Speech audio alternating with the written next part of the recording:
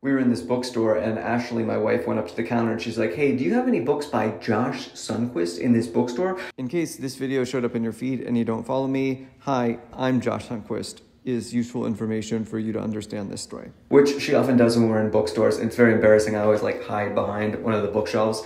And the guy looks me up on the computer and he's like, Oh, we actually only sell science fiction and horror in this bookstore. And Josh Sundquist's books aren't in that genre even though what happened to him was horrifying.